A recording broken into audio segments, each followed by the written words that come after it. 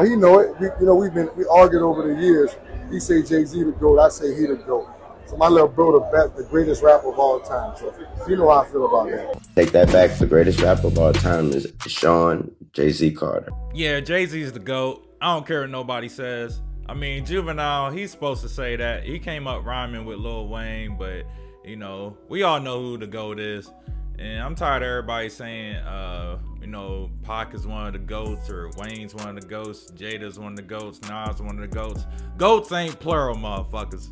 Goats is one word, greatest of all time. There ain't no S to it. But it also comes down to what era you came up in. The funny thing is, everybody, most people that says Lil Wayne's the GOAT, they really haven't heard Jay-Z's music like that. But most of us that call Jay-Z the GOAT, we know Lil Wayne's music. So, you know, a lot of times it'd be a biased argument, whatever the case may be. Until Lil Wayne does a verse like Can I Live, Dead Presidents, things like that, you know, uh, something deep like that, you know, I'm always gonna hold Jay. But Lil Wayne's definitely top five, top ten, you know, in my opinion. But let me know in the comments who y'all got. And of course, if you like the video, make sure you like and subscribe.